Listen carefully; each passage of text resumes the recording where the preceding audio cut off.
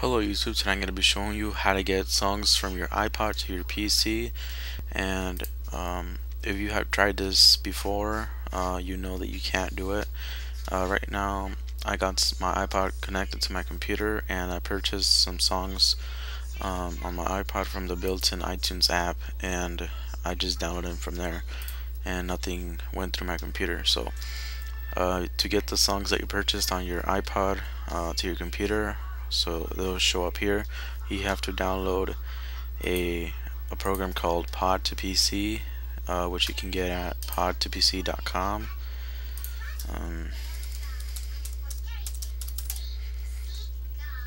and then you just go to the download tab up here and click on download.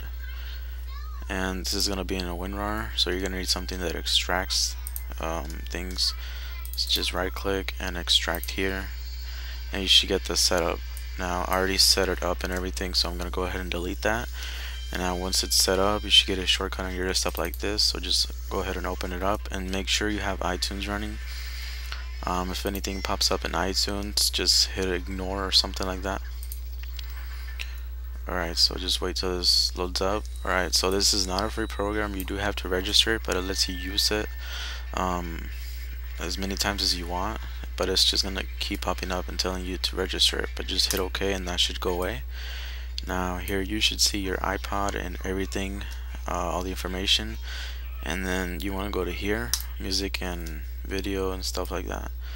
Um, if it shows a check mark that means that it's already on your iTunes and that you don't need to transfer it but um, the ones with nothing on there that means that you don't have it in your iTunes library or your computer.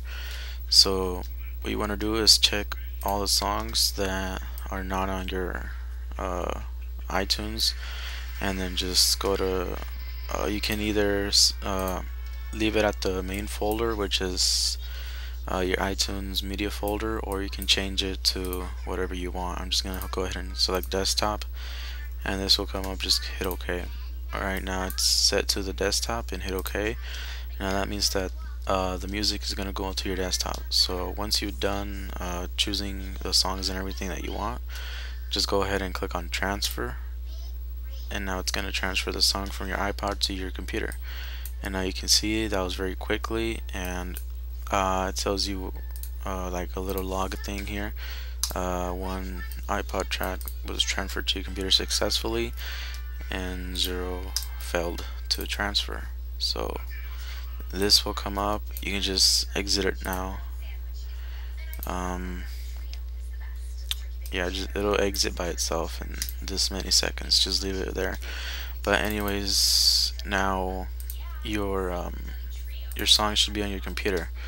Uh, it should appear in a folder um, separated by the artist and the album uh, you can now delete the folder and you should get the song onto your computer. Just you can play it back to see if it works. And yeah it worked and it's great quality. It's it doesn't reduce the quality at all. It's just copying the song from your iPod to your computer. Now you can put it onto iTunes and you can see it lets you put it uh, anywhere you want here in any folder and just to show you that this wasn't sort of like a useless thing useless tutorial.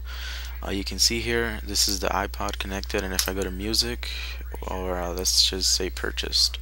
These are songs that I purchased on my iPhone I mean my iPod and um, got it straight from the iTunes app. So they downloaded it from through Wi-Fi to my iPod straight.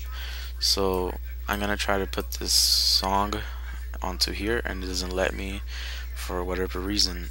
So if you ever wanted to do that to get songs off your iPod or iPhone to your computer that's the way to do it. So if this tutorial helped you please rate comment and subscribe and goodbye